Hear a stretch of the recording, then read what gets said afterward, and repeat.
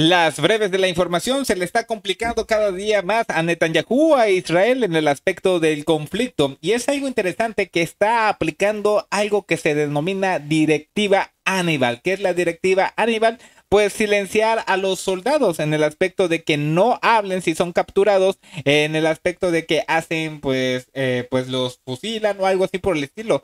Y ojo con el dato, ¿eh? Lo está diciendo la misma ONU.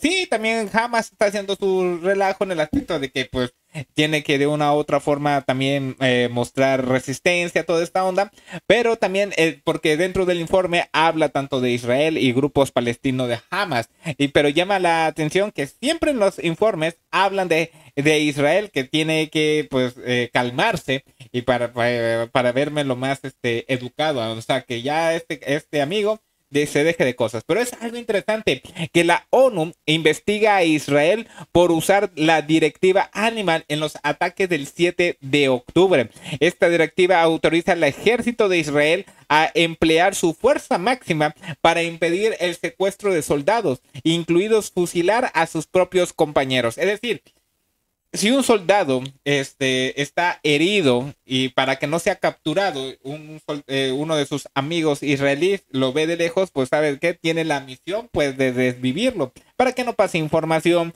para que no sea un rehén y sea una, eh, una forma de negociación. Es algo interesante que está dando a conocer esto la ONU.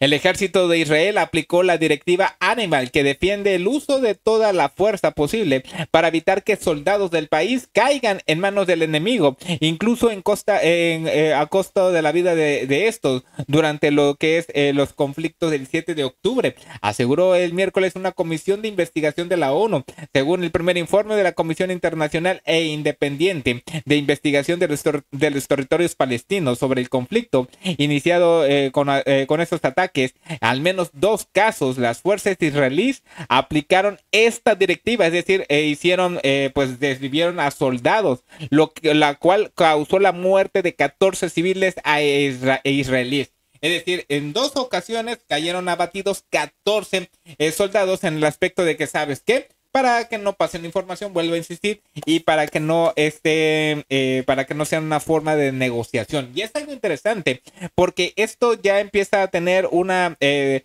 eh, una gran presión social, lo que es la Corte Penal Internacional, en el aspecto de que muchos miembros, para ser exactos, eh, un, un, grupo de 93 estados naciones donde establece que se debe permitir a la Corte Penal Internacional llevar a cabo su trabajo, es decir, ir por los, eh, eh, pues ahora sí, por los criminales de guerra, por los que están creando genocidio como Israel. 93 estados dicen, ¿sabes qué? Tienes que cumplir la ley y no es de casualidad que se esté reportando este tipo de acciones y no es de casualidad que también ya se esté defendiendo Israel porque le están diciendo, ¿sabes que La ONU dice que, que los propios israelíes mataron a 14 soldados israelíes, no es de casualidad porque sale a defenderse eh, los israelíes, donde dicen, ah, ¿sabes qué? A mí, eh, lo que es este, eh, ocho soldados israelíes muertos en el sur de Gaza, dice el ejército, ahora ellos tienen que defenderse, no, no, no, también nos han matado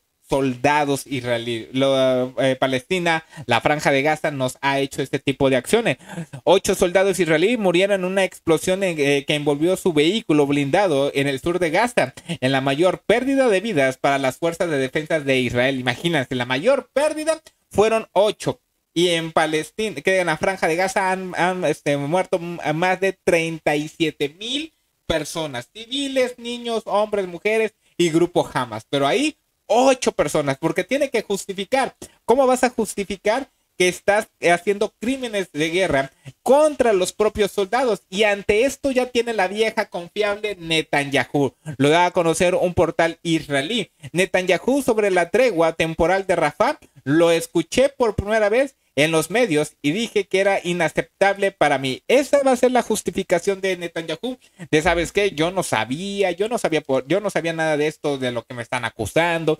Yo no sabía que había una tregua. ¿Por qué? en el aspecto de que para desligarse, deslindarse. Yo solamente estaba, eh, eh, pues ahora sí, asesorándome con el, ejército militar y es algo interesante que con esto, pues queda, eh, queda más que claro que no existe una relación con los que quieren hacer la paz y con Netanyahu, en el aspecto de que Netanyahu no le interesa la paz y quiere crear nuevamente, y bueno, quiere seguir manteniendo el caos. Es algo interesante lo que está pasando, se están ventilando muchas cosas y obviamente Israel quiere ocultar todo esto. Están las breves de la información.